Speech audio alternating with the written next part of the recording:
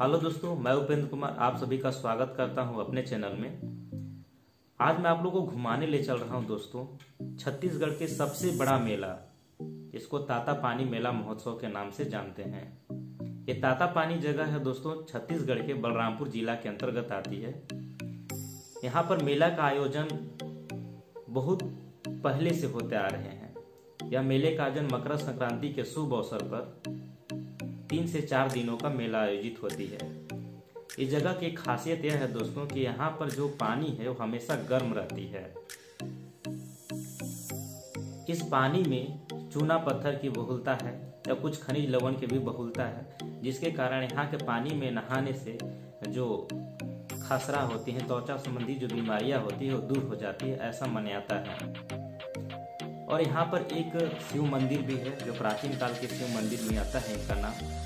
और इस शिव मंदिर को अब गवर्नमेंट के द्वारा एक बहुत बड़ा आकार प्रदान किया गया है, जैसे बहुत बड़ा शिव का विशाल मंदिर स्थापित किया गया है। तो चलिए, बिना लेट करते हुए हम आप लोग को उस जगह पर ले चलते हैं। दोस्तों तो चलिए, चलते हैं। आप वीडियो को लास्ट तक ज़रूर देखिएगा। थैंक यू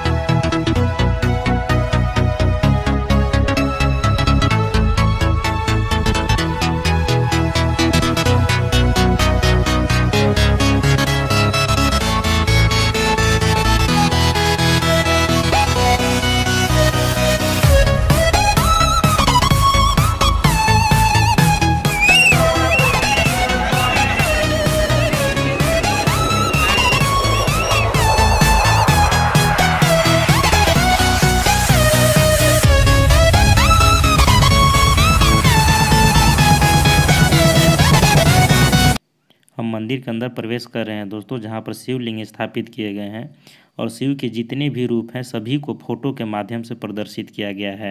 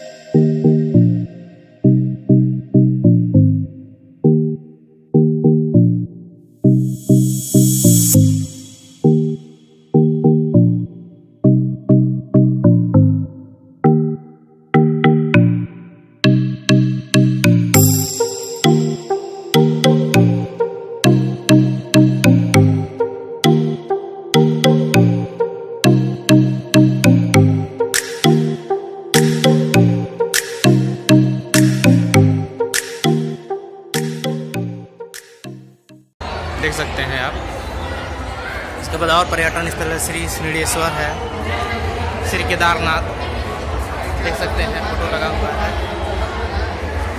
श्री यमद्रेश्वर अभी आगे बढ़कर देखिए दोस्तों, यहाँ पर स्थित श्री विश्वनाथ जी। इसके बाद अगर जैसे श्री नागेश्वरम जी के मूर्ति लगी हुई है। इस तरह से आप देख सकते हैं कि पूरे शिव मंडल है, जिसके ऊपर बहुत बड़ी मूर्तियाँ थी, उसके नीचे ये सब परिसर में है। श्री केदारनाथ बिन्नाथ धाम श्री गणेश्वर, ऐसे मूर्तियाँ लगभग यहाँ पर के अगर गिनती करें दोस्तों तो तीन छः मैंने बारह बारह ऐसे शिव मूर्तियाँ स्थापित की गई हैं, शिवलिंग स्थापित किए गए हैं। आप देख सकते हैं, किस तरह से है, बहुत अच्छा जगह आप आइए एक बार घूमने।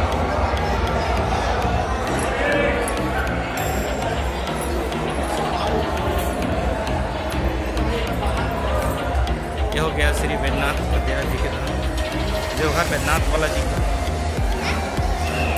चलिए दोस्तों, आप लोग अब ले चलते हैं वैसे जगह पर, जहाँ पर बड़े बड़े संस्था, एनजीओ और प्रशासनिक विभाग के द्वारा स्टॉल लगाकर थीम को प्रदर्शित किए जाते हैं। जैसा कि आप सीन देख रहे हैं दोस्तों, ये माइनिंग के विषय में बताया गया है कि कोई भी चीज़ अंदर से खनिज पदार्थ हम लोग कैसे बाहर खुदाई करके निकालते हैं।